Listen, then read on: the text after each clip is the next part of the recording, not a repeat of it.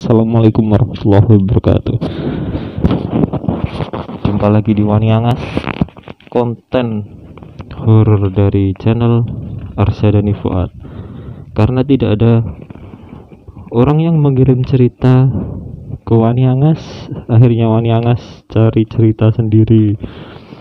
Ya cerita kali ini Waniangas akan mengisahkan cerita dari urban legend di salah satu stasiun di kota Solo. Tepatnya stasiun kota. Ya stasiun Solo kota. Jadi stasiun Solo kota ini menurut Wikipedia ya ini adalah merupakan stasiun kelas 3 atau stasiun kecil. Stasiun ini eh, berada di Sangkrah Pasar Kliwon Surakarta. Uh, karena letaknya di Sangkrah stasiun ini lebih terkenal dengan sebutan stasiun Sangkrah.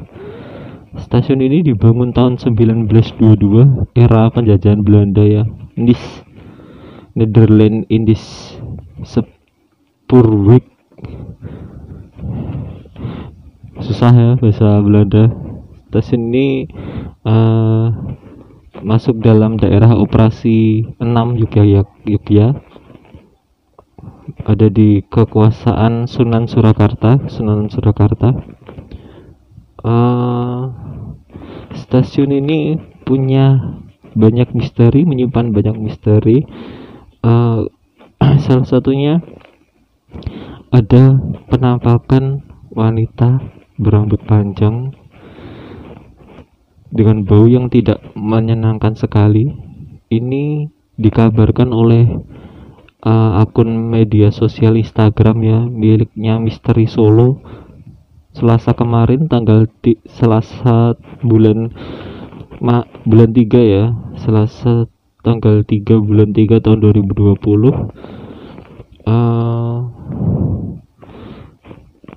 beredar kisah misteri di stasiun Solo Kota ini yang diungkapkan oleh masyarakat sekitar Konon ada penampakan makhluk gaib seorang perempuan dengan bau yang sangat harum duduk di dinding pembatas antara stasiun dan jalur jalur rel. Bahkan ada pula sosok tinggi besar hitam dengan kepala botak dan mata melotot serta taring yang tajam. Sosok tersebut terkadang muncul di langit-langit stasiun. Ada juga diungkapkan ya oleh seorang yang bercerita uh, dia berkata ada sesosok tinggi besar hitam dengan kepala botak dan mata melotot serta taring yang tajam yang kadang muncul di langit-langit stasiun menakuti, menakuti beberapa anak yang ingin tahu masuk ke dalam stasiun Tak hanya itu, beberapa pedagang pasar sering menjumpai sosok kecil seperti tuyul yang berlari menuju arah stasiun ini. Begitu kata warga sekitar. Eh, kadang-kadang masyarakat sekitar juga menaruh rokok klobot. Rokok klobot itu rokok rokok lama banget dengan balutan jagung, kulit jagung. Rokok klobot sama kopi itu ditaruh di sekitar stasiun Solo Kota uh, konon katanya rokok dan kopi ini adalah untuk sesajen atau uh, suguhan untuk penunggu stasiun agar tidak mengganggu penduduk. Tapi semenjak kereta api Batara Krishna beroperasi dan banyaknya renovasi yang dilakukan di stasiun, kesan angker di stasiun sana, stasiun Solo Kota sudah mulai menghilang ya uh, dibeberkan juga oleh warga sekitar. Cat yang tampak baru serta pelayanan petugas stasiun yang ramah seakan menghilangkan suasana angker, suasana terbengkalai dari stasiun tersebut. Dulu stasiun ini terkesan angker dan terbengkalai.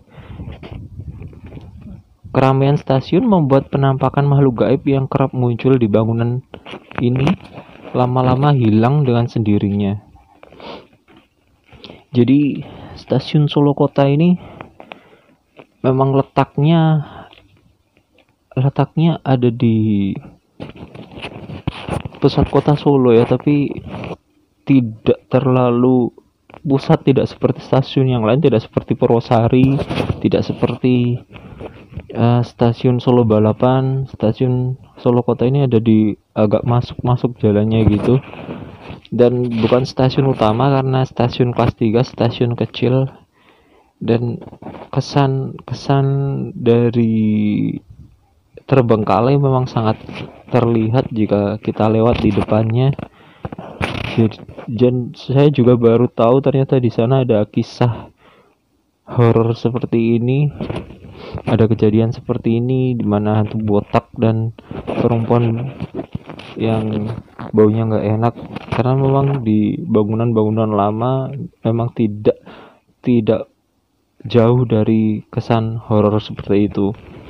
Ya mungkin itu saja cerita yang bisa disampaikan oleh Wani Angas. Cerita ini disadur dari liputan6.com dan liputan6.com juga mengambilnya dari solopas.com nanti linknya ada di deskripsi uh, jadi jika teman-teman punya cerita horor silahkan silahkan cerita kirimkan email. Email juga ada di deskripsi atau komentar. Terima kasih sudah mendengarkan cerita horor dari Wani Angas. Bila ada salahnya mohon maaf. Assalamualaikum warahmatullahi wabarakatuh